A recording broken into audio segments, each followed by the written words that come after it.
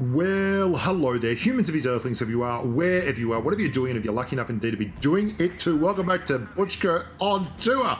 Uh, today I'm coming to you live, large, and loud from a hotel room in the Conrad Hilton in Singapore, which is pretty cool.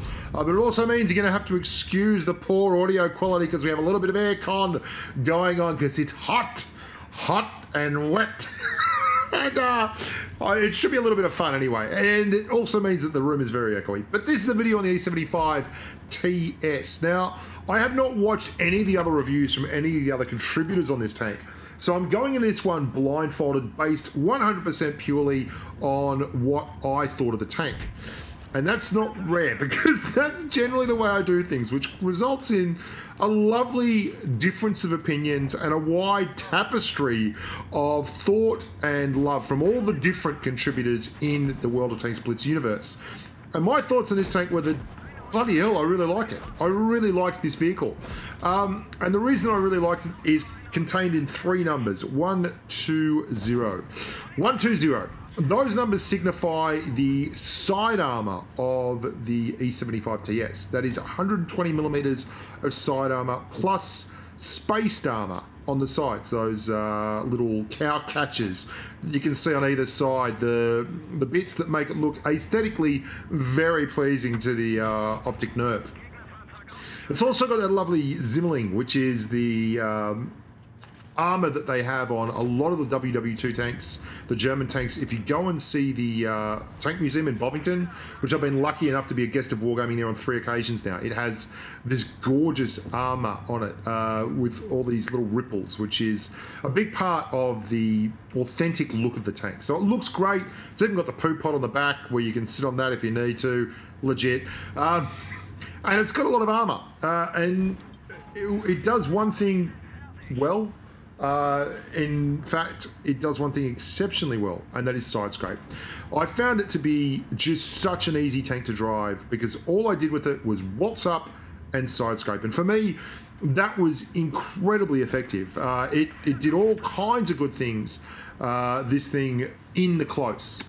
Now I'm going to show you a couple of examples that. I'm going to show you some uh, footage of me side scraping against nearly underwhelming odds. and uh, I'm going to show you some decent open field gameplay on it as well. But it is absolutely the same way I would drive an E75 is the way I drive this tank. Is it as strong as an E75? Hell no. It doesn't have the gun, uh, the intimidating 460 Alpha that the 75 brings to the table. But the E75 doesn't drive against a lot of tier 7s as well. And this tank versus tier 7s is really, really good. Versus tier 8 heavies, it is grand. I had no problems whatsoever. Now, I have heard a little bit of scuttlebutt around the traps comparing it unfavorably to the Löwe, and it's not a Löwe. It, it's not the kind of vehicle that you'd expect. Um, the Löwe is obviously a very, very different vehicle in that it has, well, for lack of a better word, it's got some incredible uh, gun handling. It's its gun uh, 2208 DPM, which incidentally is slightly behind the 75 TS, uh, but it has 0.299 dispersion, which is incredibly good uh, for a heavy tank to go along with 234 millimeters of pen. Uh, the TS has 300, uh, 215 millimeters of pen and 0.317 dispersion, but it feels even further behind the Löwe in accuracy. And I can't explain exactly why. I just, this is the general vibe I got from the tank after driving it for, I think, nearly 20 games. And we had a fairly good win rate and I think just under 2k damage in it, which isn't, I mean, these aren't incredible numbers, but for me, a tier 8 heavy, the damage numbers shouldn't really be leaping off the page. Uh, if they are, it's probably OP because the tier 8 heavies are not renowned for being damage farming machines. They will do damage, but they're not really like your Russian heavies, your 120 millimeter derpy guns. And this thing is built to be a stone wall. It's built to get up close and actually hold a line, sidescrape a line. And in that, it is a very, very traditional tank in, in terms of gameplay. Uh, Blitz and PC itself go way back to sidescraping being the purest and most um, you know, honor bound mode of heavy tank gameplay. And that's not a normal thing. Um, a lot of open field gameplay and a lot of open field heavy tanks don't have 120 millimeters of side armor. Now you can see the side armor is angled severely, um, and that creates both a very good open field angler and a very, very good, uh, if you can get any kind of rock to side scrape off, um, you can do amazing things. And we haven't even talked yet about the gun depression. The tank itself musters 10 degrees of gun depression. And during the course of my uh, travels, I didn't really push it as a gun depression tank. I wanted to really drive it as a traditional side scraping vehicle, like the 75 that is its namesake. And you can see as my turret blows off there. We did enough though. We did enough there to uh, stay in the game and actually get us across the line.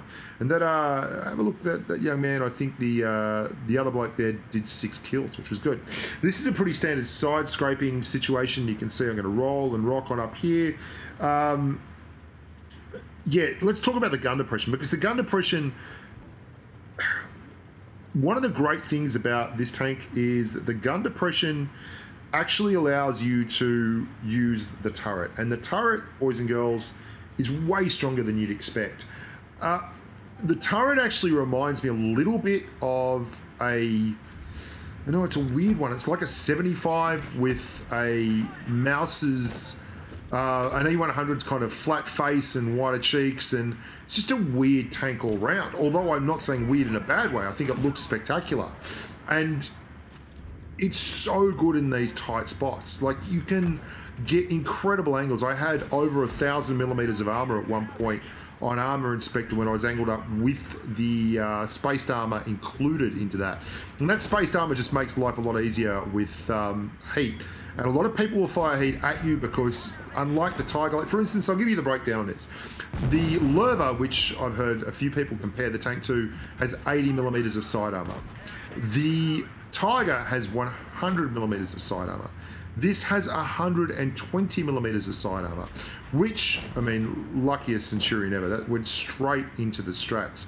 Uh, and you can see I'm playing on hotel Wi-Fi here. So the Wi-Fi looks amazing.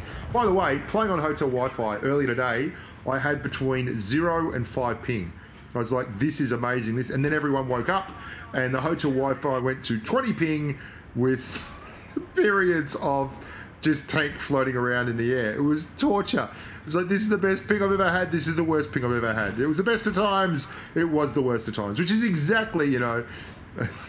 you, you, careful what you wish for. I'm playing on low ping in Singapore. I probably shouldn't be playing on low ping in Singapore on this hotel. Uh, it'd be a lot better on a stable cable connection. But next time I come, we'll sort out one of those uh, those you know unlimited sims for the day where the hell was I? Yeah, so you've got 10 degrees of gun depression. You've got a flat face and you've got an awful lot of armor. I found it really hard to fault this tank at all. Uh, the one problem I had with it was it did have a reasonable top end. Hello, YOLO Tiger 1. Um, your lower glacis is crap. I make a mistake here. I should have angled in straight away. I'm trying to open field it like an E75, and that's my issue with it. Is do you see how slow it is? How cumbersome it is? It is not an agile beastie. It is a tank that really struggles to get out and about, and it can be tough for this tank to traverse to fast moving mediums, uh, which is as it should be. Anything with this much armor should not be able to turn quickly. It also doesn't have the kind of gun that intimidates. Uh, it would be much, much too strong if it had the E75's uh, 128 millimeter. Uh, there's no way around that. I wait for this stubborn ML you can see here to back up, switch to HE, uncalled for, but we finish him anyway. That's the gun's good enough for things like that. It's better than a standard heavy tank gun. But if it if it had, I love how the turret is wide at the rear and narrow at the front. I mean, that is just such an un-German thing, um, and that kind of makes me feel like it's a little bit of a Frankenstein, which I really enjoyed. Uh, that TS part of it. Here we go. Just the angle you can hold here is really strong, even against TDs. You know, I'm trying to bait shots out of that WZ121 FT, and he just doesn't want a bar it. There's nothing there for him, although he does seem to have perfectly uh, acceptable amounts of armor. The BL10, no, doesn't have quite so many issues. You can see the 152 down there.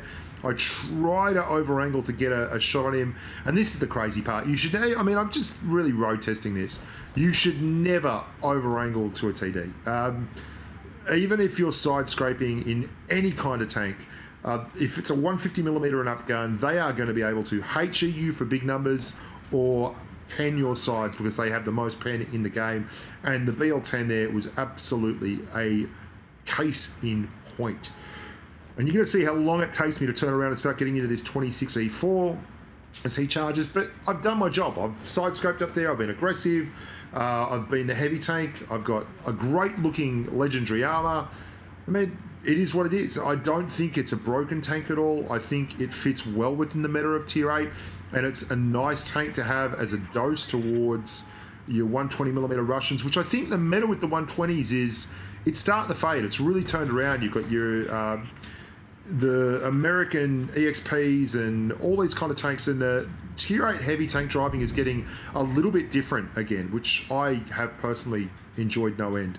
I hope you liked that review. Uh, a bit fast and furious, but that's fair enough. We are in Singapore doing the Singapore sling. I hope you enjoy the videos. I've certainly plenty more coming down the pike. I've got three videos ready to drop when I get home. I uploaded them to the PUBG mobile channel before I left for Singapore because I was in a rush and um, I put him on the wrong channel and I couldn't get him around. So, you know, look forward to that. Until next time, I'm Bushka. Stay safe in the battlefield. Look after yourself and bye for now.